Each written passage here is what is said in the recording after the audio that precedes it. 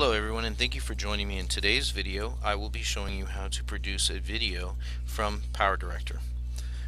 Once your editing is complete, you're going to come to the Produce tab. You will get this screen. The first thing you want to check is that the AVC button is selected, blue. Then you will check your file extension, make sure that it is set to MP4. Then you will check the quality that you want to export your video at.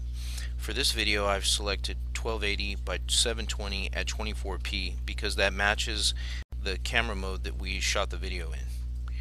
You want to make sure that the fast video rendering technology square is checked and very importantly you want to make sure that you know which folder you are downloading the produced video into. So the way you check that is you come to these three dots and you simply select the folder that you want to choose. I'm going to use downloads. Press save and now the video is ready to be made. All you need to do is press start. The video is now producing.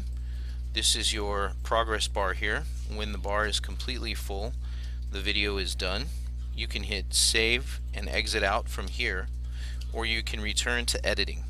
If you return to editing the produced video will appear in your library. Thank you for joining me in this tutorial.